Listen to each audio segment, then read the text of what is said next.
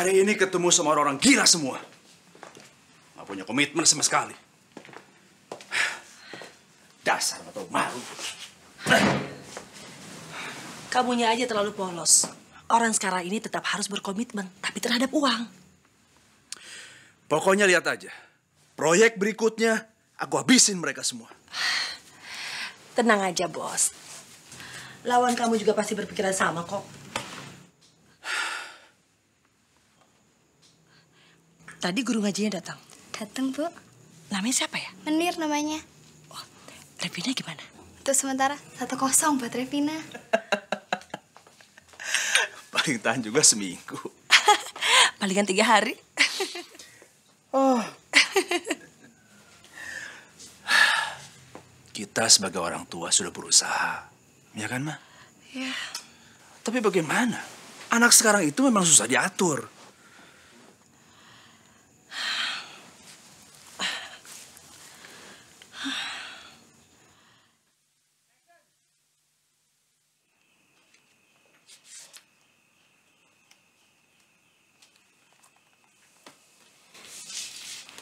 Revina sayang.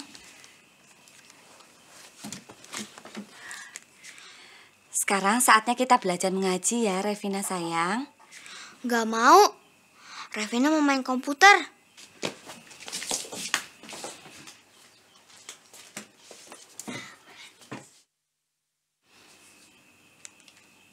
Loh, kok komputernya mati sih?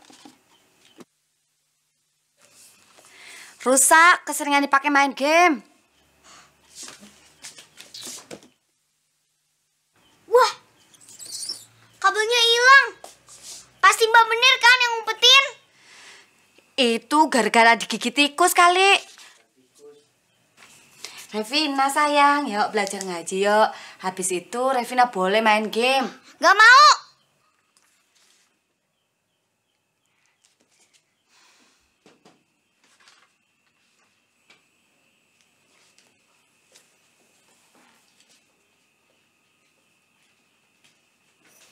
Alhamdulillahirobbil alamin. Cah Ayu akhirnya mau juga belajar ngaji. Yuk kita belajar ngaji ya. Habis itu kamu boleh main game. Siapa juga yang mau ngaji? Lah, Terus mau apa? Mau main komputer.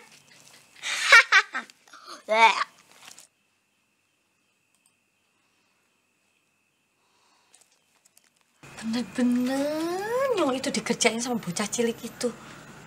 Dua kosong Nyong dibuatnya. Pengen tak pelitir itu kepalanya. Aduh, apa emang bener Nyong itu nggak cocok jadi guru? Boro-boro mau ngajarin anak kecil, ngajarin diri sendiri aja nggak pecus. Nasib. Papake emang bener. Nyong ini cuma proyek gagal. Ya sudah, kamu kerja aja lagi di sini, di warteg, ya kan? Iya. Ora, yang malu sama Bu Haji. Sepertinya Nyong harus cari kerjaan yang lain saja. Kerja apa ya?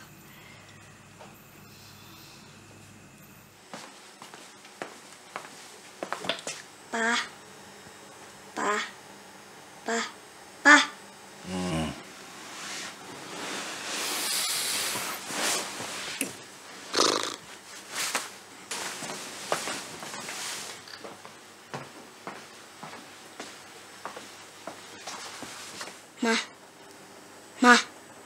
Vina berangkat, Mah. Mah. Sini, cium mama dulu. Gak mau, mau bau. Itu jemputannya udah nungguin. Ayo cepetan sana. Itu teman-temannya udah nungguin. Vina, Vina, Vina. Nanti istirahat sekolah kita main kayak kemarin yuk. Ayo, tapi kamu yang jadi penjahatnya ya, aku jadi pribadinya. Tapi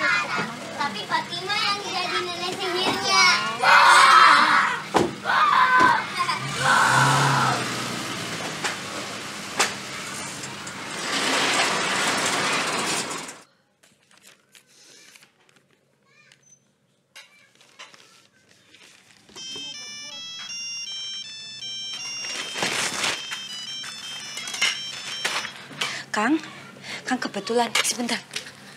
Misi. Udahlah. Kue ke Arab aja atau ke Malaysia daripada di Jakarta kayak orang bingung. Ayolah Kang. Kang Dirman kan banyak temennya di Jakarta. Yang wes izin sama Bu Haji, malu Kang. Kalau kue datang ke pelukan Kang Dirman, nggak perlu malu, Nir. Kang, Inyong serius ini ngomongnya. Ya, ya, ya, ya, ya, ya, ya. Lihat-lihat nantilah. Bener ya Kang. Jangan bohongin Nyong ya. Tapi kalau nggak dapat kerjaan juga, kamu kawin sama aku ya. Ya cici ya, amit-amit. ya wes, jadi gimana? Kang Diman, jadi mau nolongin Inyong, apa boleh? Ayo jawab cepetan Kang. Insya Allah. Insya Allah. Tunggu kabar dari aku ya sayang ya. Kang ngomong-ngomong, kabarnya Sanem priben? Bos, siap bos. Alhamdulillah, baik-baik aja di Malaysia. Katanya sih betah dan lagi sibuk. Eh, Ner, udah ditunggu nih. Aku mau berangkat dulu ya. Nanti aku telepon lagi ya. Dadah, sayangku. Oh, dadah-dadah, pret. Kang Dirman pancen nyebelin. Tapi seenggak-enggaknya dia itu bukan pecundang yang mau ngumbar aib orang. Ah, tapi nggak tahu deh. Sebenarnya aib siapa saja yang dia tutupi sama ini. Permisi, saya ke warung sebentar ya.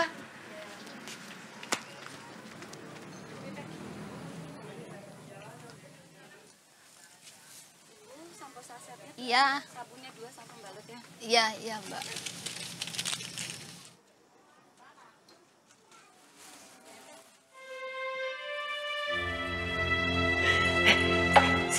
Ditengok nih.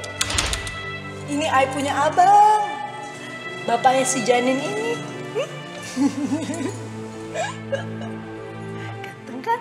Jadi, dia mau datang ke Indonesia untuk nengok kowe.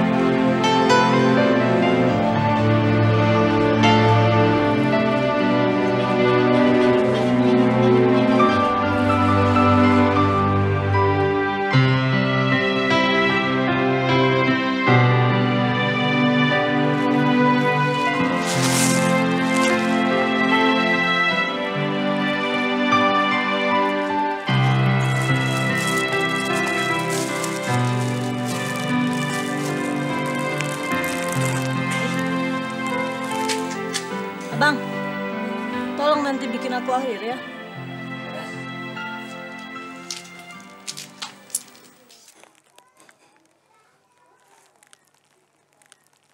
Kalau udah tahu ya udah Ner, yang lain nggak perlu tahu.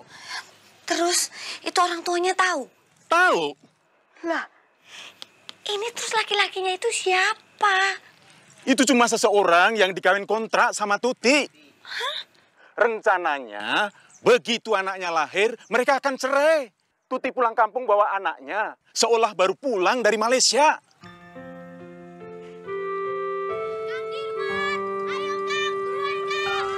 Aduh, Tut, ini sudah ditunggu ini. Aku duluan ya, mau berangkat. Iya, Kang. Dadah, sayang. Hah? Sebentar.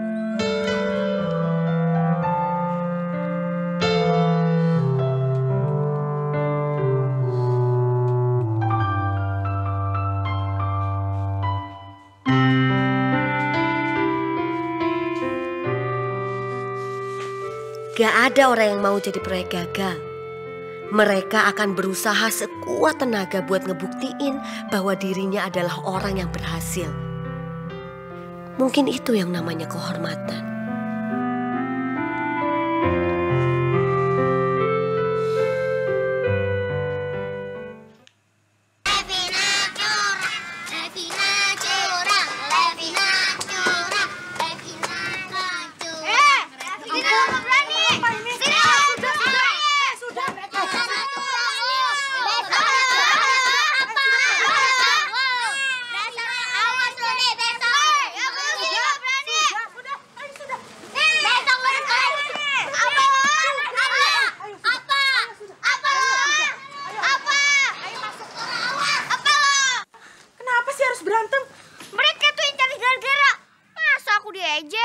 Menang apa kalah, Dek? Hus, kok malah digituin sih? Ah, kalau main keroyokan sih Revina menang. Bagus. Yeay. Eh, udah, ayo masuk. Ayo, ayo masuk. Jadi Revina tidak mau belajar ngaji. Enggak. Tidak mau menjadi orang yang beragama. Enggak. Gimana sih? Ya sudah, kalau gitu. Gimana kalau sekarang Revina saja yang ngajarin Mbak Menir? Mau tidak? Ngajarin apa? Komputer. Semakin cepat Mbak Menir menguasai komputer, maka semakin cepat pula Mbak Menir pergi dari tempat ini. Habis itu ya terserah. Revina mau main game, mau main apa saja, bebas. Mau apa tidak? Ah ya sudah deh, kalau tidak mau kita belajar ngaji ya sekarang. Kemarin itu ah, eh. Janji ya, kalau Mbak bisa main komputer, Mbak harus pergi dari sini. Janji, serius janji. Kalau Mbak sudah pintar main komputer, Mbak pulang ke Brebes. Hah, Dan abis itu terserahlah orang tuanya Mbak Mene mau jodohin sama siapa. Nasib. Eh, eh, eh. Eh, mau apa itu? Ya nyalain komputer lah. Kalau nggak dinyalain, mana bisa main? Oke, tetapi Mbak Menir tidak mau begitu caranya. Gimana sih? Mbak Menir maunya sebelum melakukan apa pun, Revina harus membaca dulu Bismillahirrohmanirrohim. Bismillah. Eh, karena Bismillahnya setengah jadi belum boleh dipencet. Bismillahirrohmanirrohim. Waduh, pinter sekali ini calon guruku. Eh, Revina tahu tidak? Kita itu harus selalu membaca Bismillah sebelum memulai pekerjaan apa pun. Emang kenapa? Biar semuanya jadi berkah. Kita minta ridho pada Allah Subhanahu wa Ta'ala, Tuhan kita, ya? Oh, jadi kalau mau berantem juga harus baca Bismillah ya? ya nggak boleh berantem. Masa berantem baca Bismillah? Uh. eh, udah tuh udah. Oh sudah? Hei, Alhamdulillahirabbil alamin. Apaan tuh? Itu artinya kita mengucap syukur kepada Allah karena Allah lah membuat komputer ini juga bisa menyala. Alhamdulillah. Mbak Menir mau belajar apa dulu? Jadi kita itu juga harus bersyukur dan harus sadar suatu saat kita akan kembali kepadanya. Ngerti Mau kan? main komputer apa ngaji? Komputer. Ampun Bu Guru, komputer. Eh, wah sudah nyala. Waduh, mana yang mesti dipencet? Jangan ya? lebay. Oh, Hmm. Mbak Menir mau belajar apa? Main game dulu ya. Baca apa dulu? Bismillah. Sedikit demi sedikit, Inyong mulai bisa mendekati hati Revina. Inyong ikuti maunya sambil ngenalin mauku. Ibarat mau pulang kampung, banyak jalan menuju Brebes. Bisa lewat Pantura, bisa lewat Wangon. Tapi kadang harus belusukan keluar masuk hutan nyari jalan tembus. Yang penting nyampe.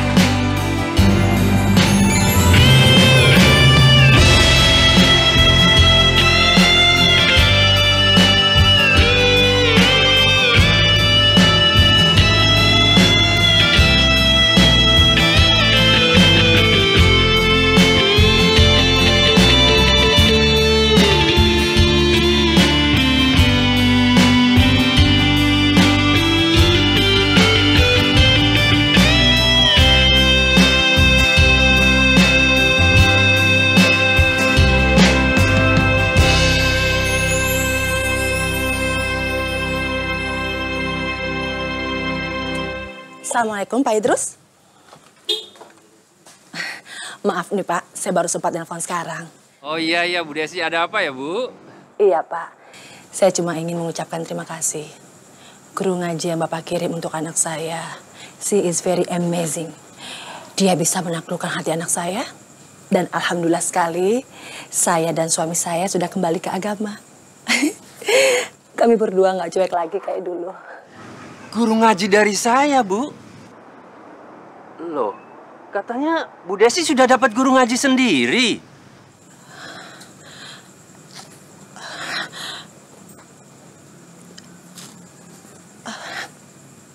Baik Pak, saya akan coba cek lagi. Terima kasih ya.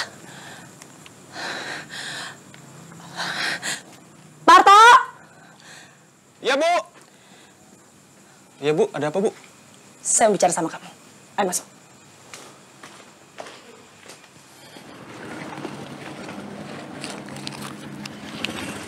Makasih ya, Pak. Assalamualaikum. Waalaikumsalam. Loh, Ibu tidak kerja apa sudah pulang?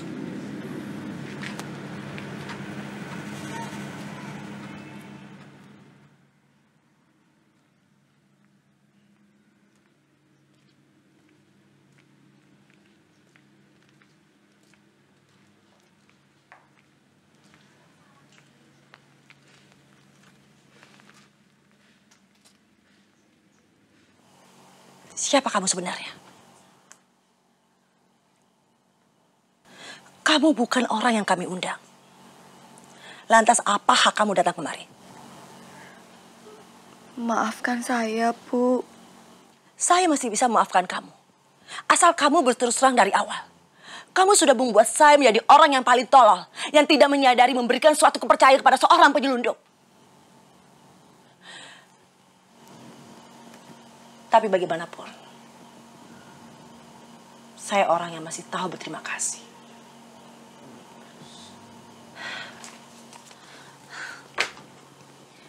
Silakan pergi.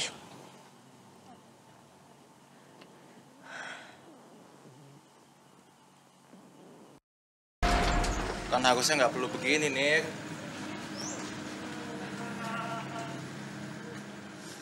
Menir! Menir!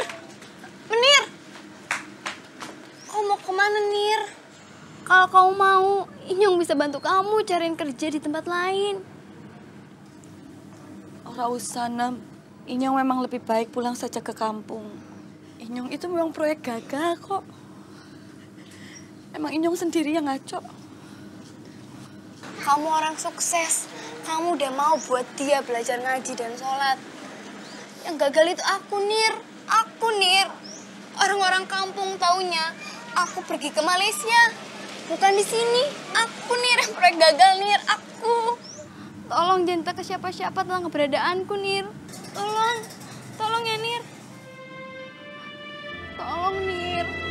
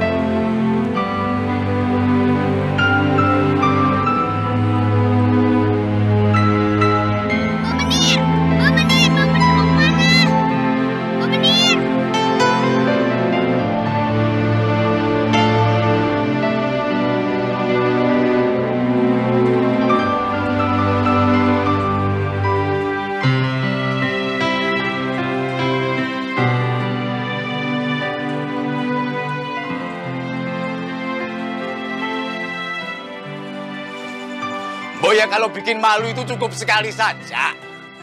Sejak awal Nyong sudah curiga. Waktu Bapak ke ingin lihat kantormu, tega-teganya kamu membohongi Bapak.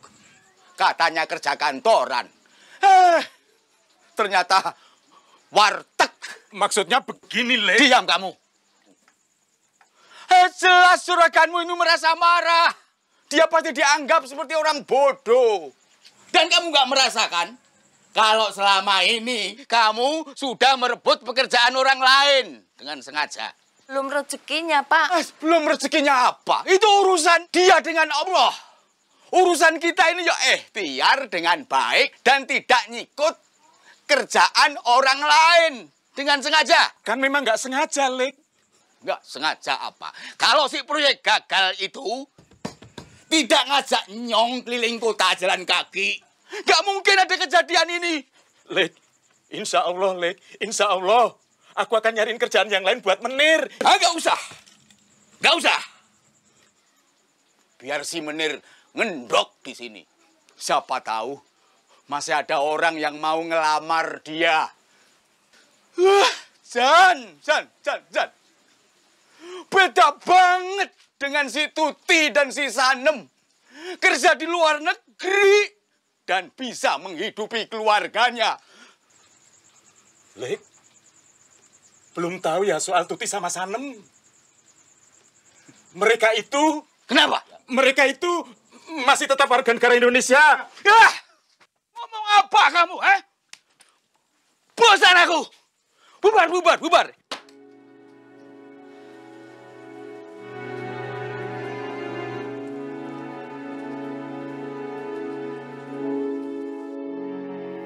Seperti yang sudah-sudah, atau mungkin yang seharusnya.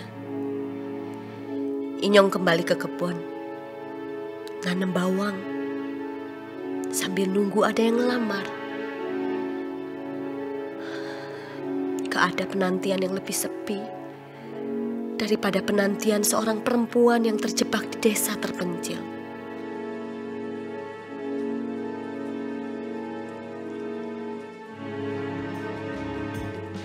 Selalu ada yang datang dan selalu ada yang pergi, membawa ceritanya sendiri-sendiri, juga harapan dan kegagalan.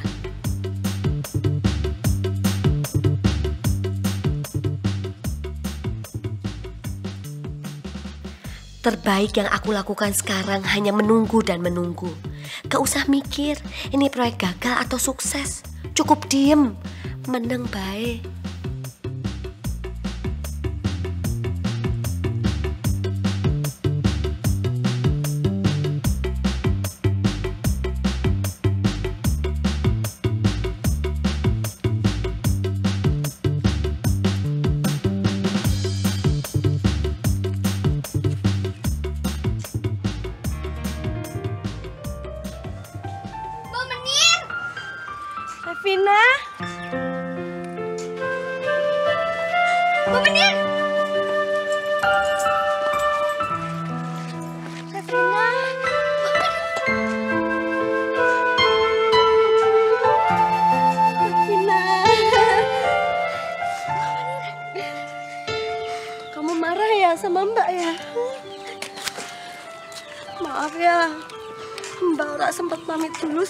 Waktu pulang dari rumah.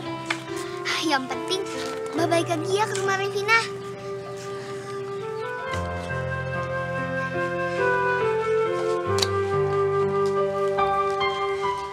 Bu, Bapak, gimana kabarnya?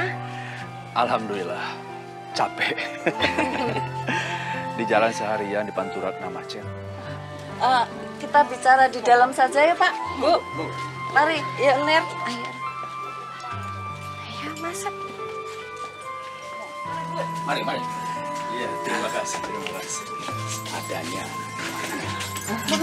Mbak Menir, diskusi aja yuk. Di sini aja, Mas. Sudah seminggu ini Revina itu ngamuk terus. Dia katanya akan mogok sholat kalau kamu tidak kembali ke rumah kami. Maafin ibu ya Menir. Waktu itu ibu sangat emosi. Tidak apa-apa, Bu. Saya yang malu. Karena saya yang salah kok, Bu. Sudah lupakan. Sekarang Revina sudah punya guru ngaji lebih pintar dari kamu. Kamu mau kan kembali ke rumah kita? Tapi enggak. Saya enggak mau nanti saya ngacok lagi. Justru kamu akan terus ngaco kalau kamu begini-begini aja. Kamu harus kuliah. Ibu dan bapak akan membiayai kuliah kamu sampai selesai. Lah, kami dapat duit dari mana? Wong untuk makan aja sulit. Ya toh, Bu? Iya, Pak. Maksudnya bapak ini dan ibu ini. Oh, Itu toh. Kasih, Bu. Sama-sama ya. Ya Allah, mudah-mudahan ini proyekku yang sukses.